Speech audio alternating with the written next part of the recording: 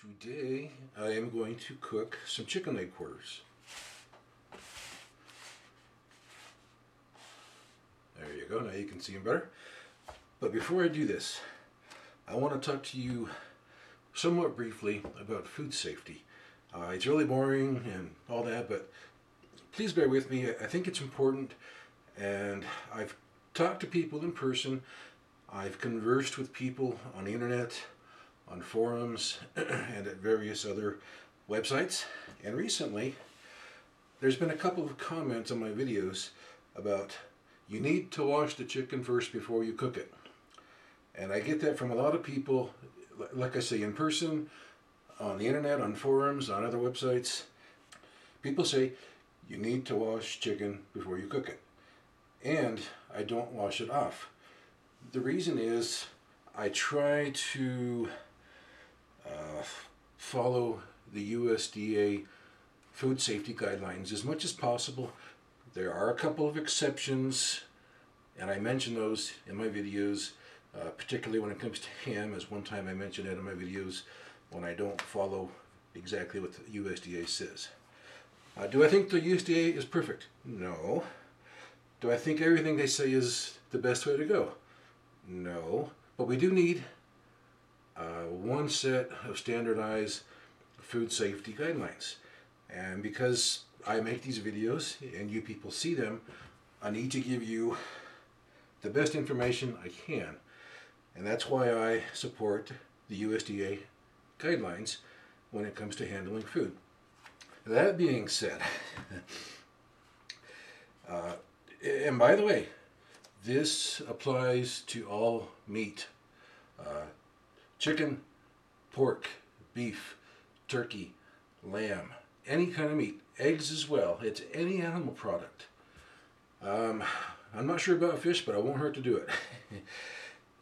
the reason you don't want to wash chicken, yeah, let me let me back up here. It, it, it's when it comes to food safety, it's primarily when people talk about salmonella or E. coli or any other kind of uh, harmful bacteria that would be on the surface, the surface of the chicken or beef or pork or turkey or buffalo, whatever. It, the, the harmful bacteria can be on any meat, not just chicken, but any meat, any animal product. And so the reason I don't wash it is because when you wash wash it off under running water, little water droplets splash everywhere, several feet away. They can fly 10, 12 feet away or even further. And they're so small you can't see them.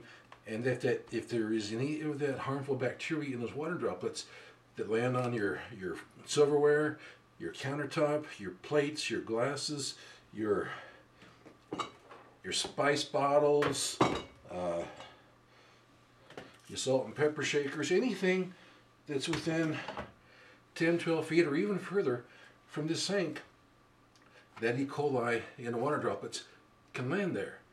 And that's how people get sick.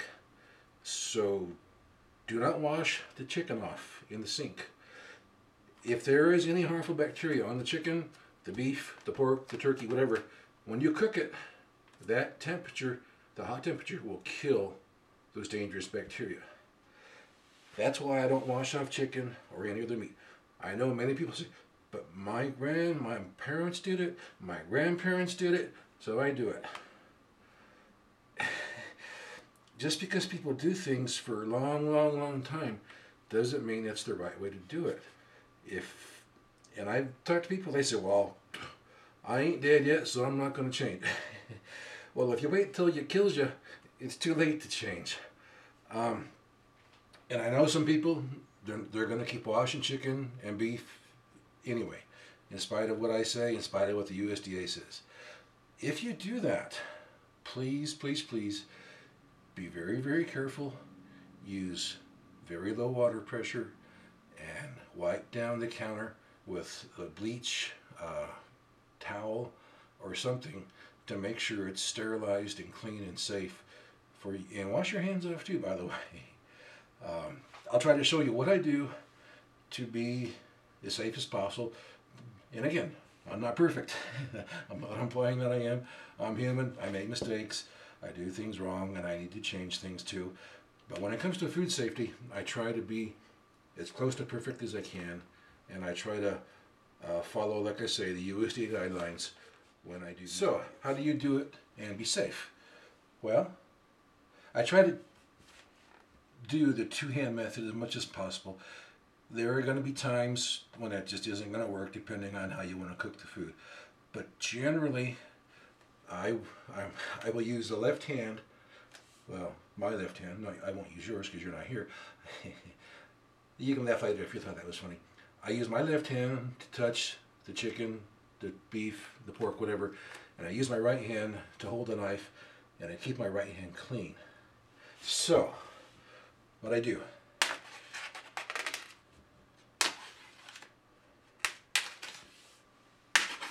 Carefully open the package. And I use my left hand to remove any excess fat, uh,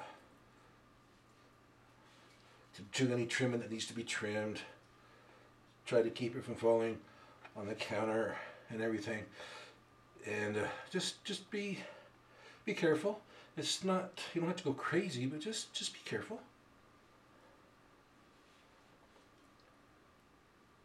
But that's, that's how I do it. It's a little sloppy right now because I'm, I'm reaching over the counter so you can see easily. But that's how I, I do it. And so I'm to go ahead and finish these up, trim them, a little fat off, and then I'll cook them up. So stick around. And we're getting away from the talking so much and into the cooking now. Okay, I've carefully trimmed off the excess fat off the chicken and it's ready to go. And these are, are just chicken leg quarters. That's the chicken leg and the thigh. Uh, that's what we call them here in the US in uh, I believe in Australia they call this chicken Maryland. I don't know why. They don't know why that's what it's called apparently. Anyways I'm just gonna make this really super simple because they have pretty good flavor just like they are so I'm going to use a, uh, this is a store brand steak sauce. Uh, it's, it's decent. I like it uh, on chicken as well as beef. On, some, I do things different in different flavors, different things. But I'm just going to put a little, little on here.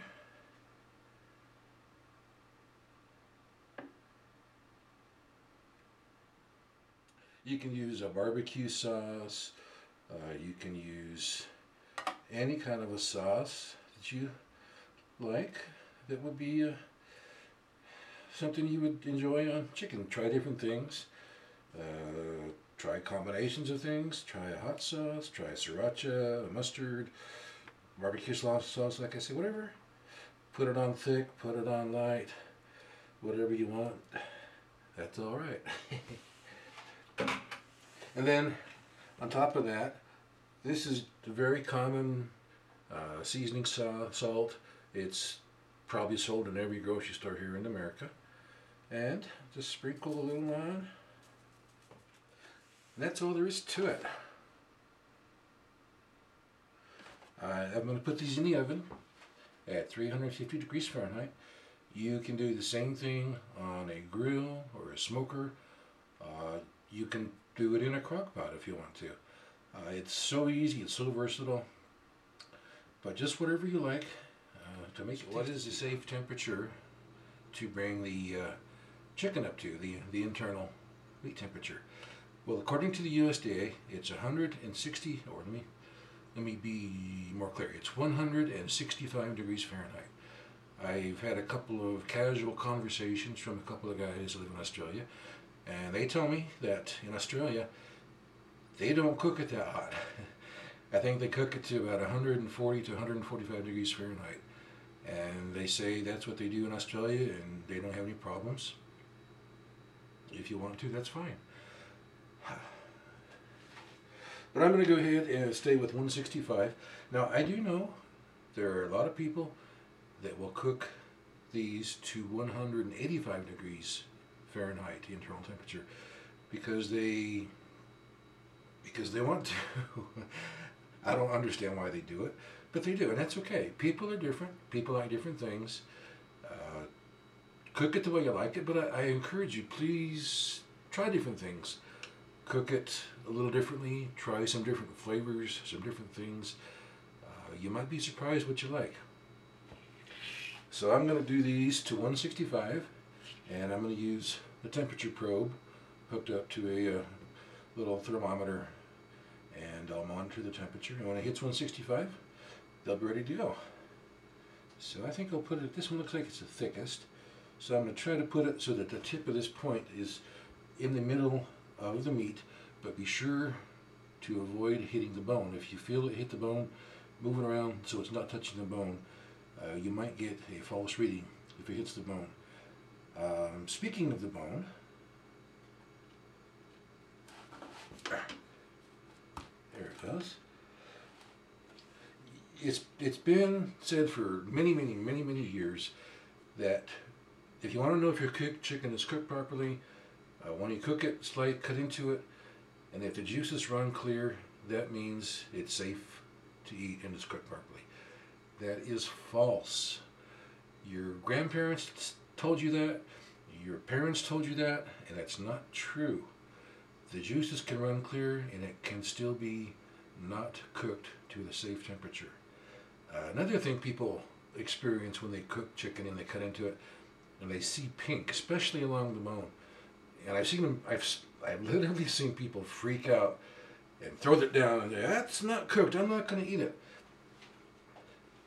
Visually looking at chicken and seeing pink in there, that's not a, that's not a good way to determine if it's been cooked properly. It could be cooked to 200 degrees and you can still find pink in there because it's normal for those especially in younger chickens. Uh, right next to the bone, often there'll be pink areas. It's from the meat, it's, it's and from the, the moisture. I'm not going to get to the technical aspect of it. It's known as myoglobin. Uh, it occurs in meat. Um,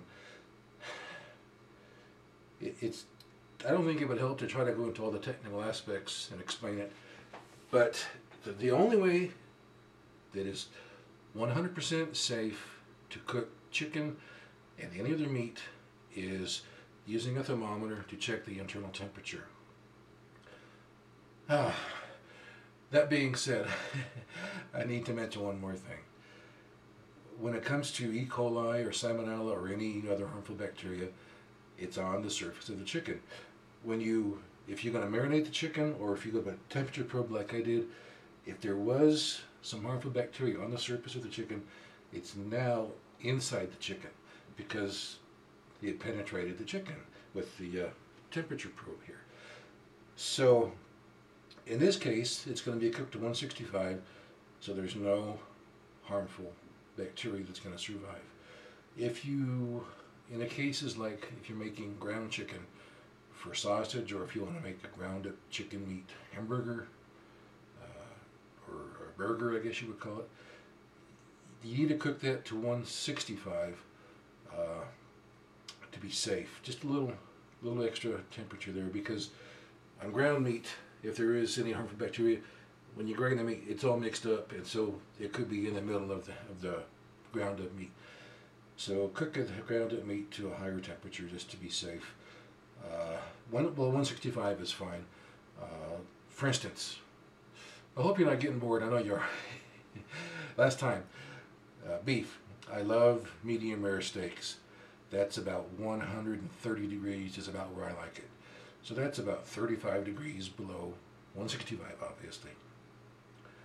Uh, is there any risk there? There's probably a little tiny risk uh, eating meat cooked at that temperature on beef. But it's such a tiny, tiny, tiny little risk.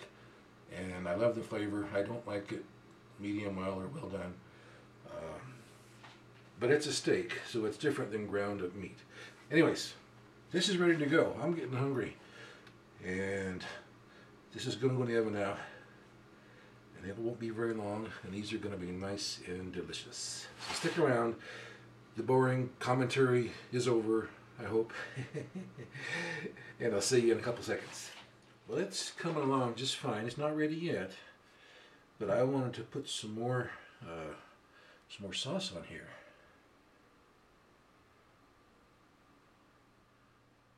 And I got a little more sauce on them now and put them back in the uh, back in the oven. Just a little touch more. Don't put too much seasoning salt on it or you'll you'll be eating a block of salt. Just a little bit.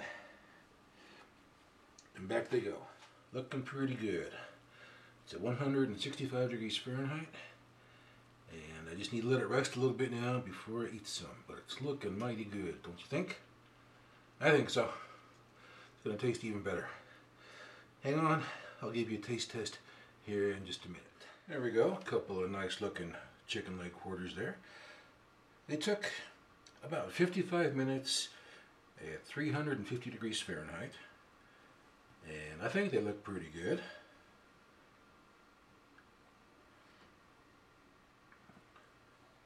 I know they taste pretty good. Because I make them this way every, every cut a piece off here for you and uh, show you what it looks like inside. Go.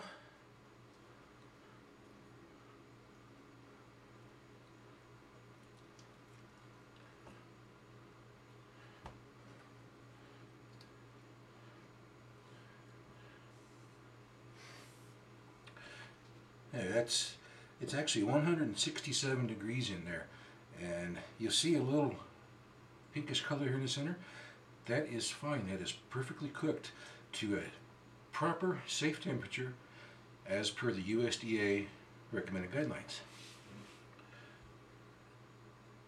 because you can't always rely see it's different colors of mink there of mink it's not mink it's meat you can see the different colors of the meat there. It looks pink, but after a few seconds, it changes darker to a darker color of the meat. Uh, it's, it's perfectly safe.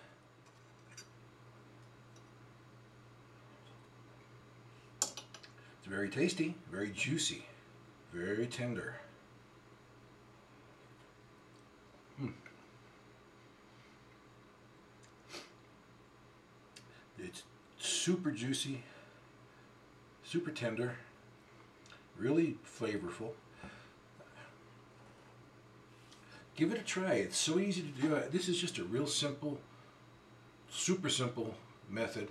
Uh, just little flavor, little sauce, little seasoning, cook them. Real basic, real simple, but very delicious. Give it a try. I'm sure you'll like it. Cook safely with all meats, not just chicken.